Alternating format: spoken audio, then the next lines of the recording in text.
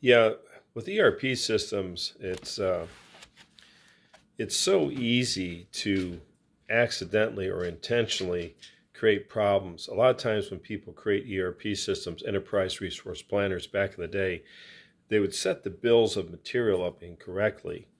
And what would happen is then too much of this or too much of that, or you know, you, you set up a bill of material for something that really only needs two bolts, but your bill material calls for four. So it starts consuming uh, virtually two extra bolts. Now, in reality, people on the floor aren't using four bolts, they're just using two. But the system says there's a replenishment problem because you've hit your safety stock and your reorder points. And all of a sudden, all this inventory starts pouring in, and people don't know what's going on. Uh, so, ERP systems, any ordering system has to be maintained daily you have to check your results. You have to do a sanity check. I did this all the time. I'd print out and say, do we really have this much on the floor? And if it looked out of whack, I, we'd do a cycle count. We'd go out and just start counting that box or counting this section. We'd figure out, hey, there's there's something going on. Then we would track back into the production reporting system. You may have a production reporting system that's paper. Someone hands in a paper in the office. Someone sits down, types in the, uh, what was made it gets into the uh, ERP system, an MRP run, material resource planner, material production scheduler, those two different processes run. And those aren't really intelligent processes. They're really just brute force calculators that calculate. In simplest terms, if you wanted to make 100 Betty Crocker cakes, it's going to tell you if you need to make 100 Betty Crocker cakes and the due date for all 100 or a portion of it is you know May 1st, then you have to start ordering your material, you know, in April. And you have to get your cakes made by the last week of April, and you have to get your shipments out and all this. That's what you have to do. Uh, so it can get really intricate, and you really have to know your supply chain, your your material. You have to know how your business runs.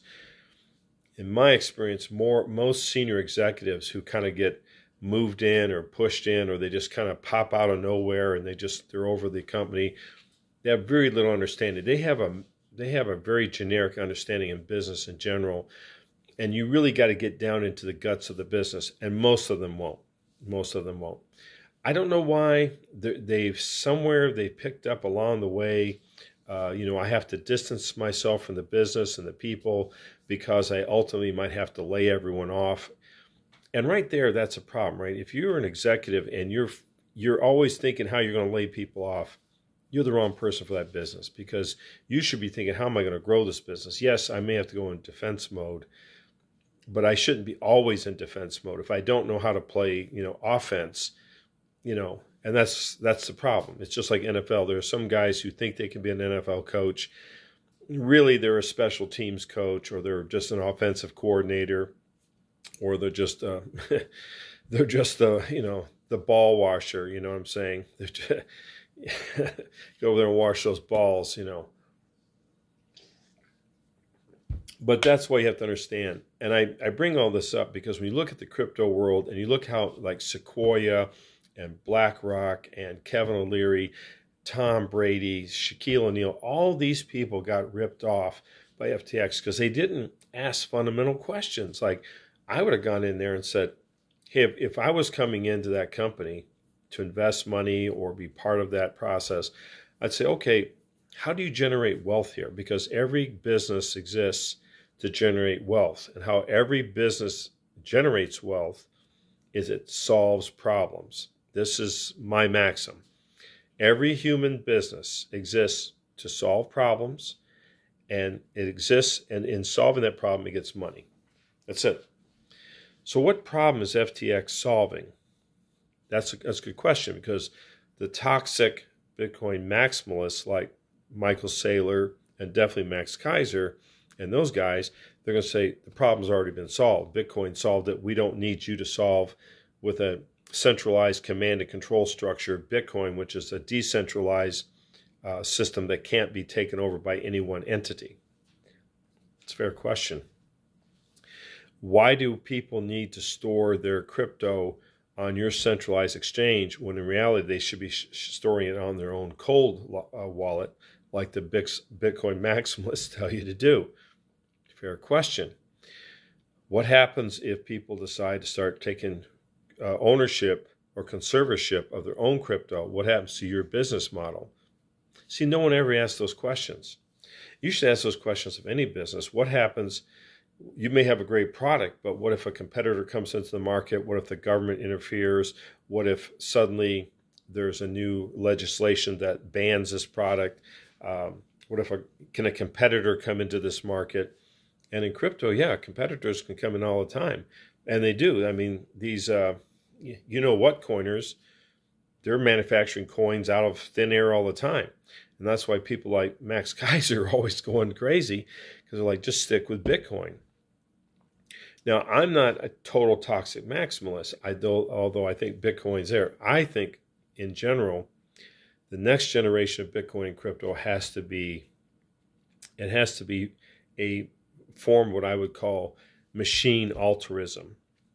Now, machine altruism means that we want these computers to be calculating, but not like Bitcoin doing the Byzantine generals problem.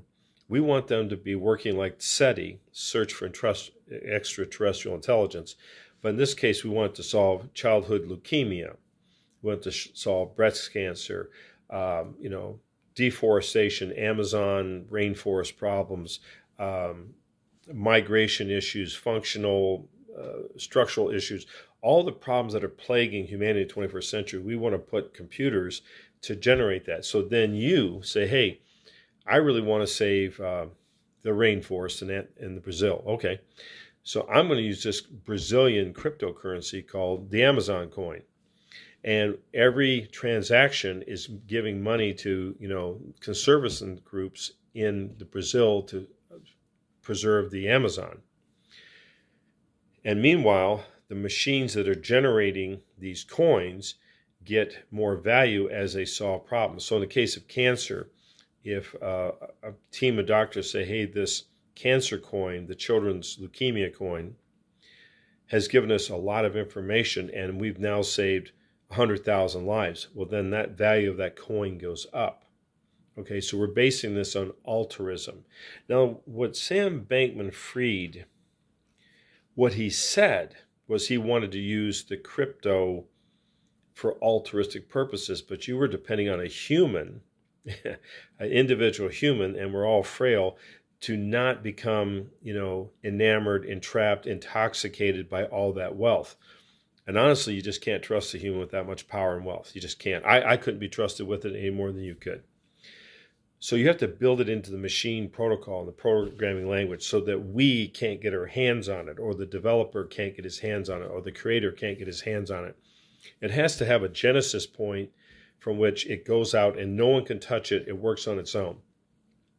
So in the altruistic coins I'm talking about, you would set up a you, you could opt in with your laptop computer or computing center to to solve medical problems or cancer problems or environmental problems or social problems or mental health issues or whatever people wanted and they would put you would process that power and that would be the basis of your cryptocurrency that people would use and let's say you don't want to be part of that generation process you would say hey when i when i buy something I want to use the Brazilian Amazon coin or the children's leukemia coin.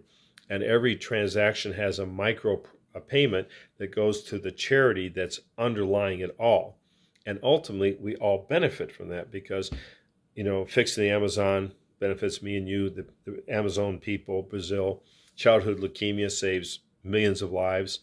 Um, cancer, we all are facing probably our mortality, probably with some type of cancer. So if cancer can be we can focus computer and AI energy towards that to solve that problem, that can save hundreds of millions, if not billions, of lives. And then using the commission, so you take the Bitcoin model, which in my opinion was based on the SETI model, the search for extraterrestrial intelligence, and you have these altruistic miners that are decentralized, that are solving problems all over the world, and then they centralize, and then the answers are given, and people say, yes, this has helped us out and the value of the coin goes up because everyone says, hey, you know, that cancer coin helped save my mother's life. So I'm all in on it now. And that way, it's not going to have this frenzy ph- phenomena because it's based on real work, right? Real problems are being solved. That's why I keep going back to manufacturing, production, because you have to have something that you're converting raw material, whether it's information or it's nuts and bolts or it's steel or whatever it is, you're taking a raw material, you're adding value to it, and you're producing a product that people want. Same thing, you want to solve cancer. The raw material is out there data, blood tests, DNA tests, historical uh, medical records, medications that needs to be synthesized so that pharmaceutical companies can draw from that and they in turn would pay for that information which adds more value to that cryptocurrency this is how cryptocurrency can be repaired. But when you depend on a human like Sam Bankman Fried, who decides arbitrarily, well, I'm going to give my money to this political party or that political party or my, my buddies, or I'm going to buy more. Humans, and that's when, you're give, when you give a human that much power, we as a species just malfunction. Okay, we just do. I would, you would. You have to step back and recognize that and say, how do I protect my creation? How do I protect humanity from me and my creation? Like maybe FTX is maybe it would have been a good thing. I don't know. But it turned into a bad thing because a human and a group of humans turned into the natural state of greed and lust and desire for power and, and, and they just it just went to their head. Absolute power corrupts absolutely, and it blew up the system. So we have to design it so that it cannot be centrally controlled like Bitcoin. It cannot be manipulated like Bitcoin.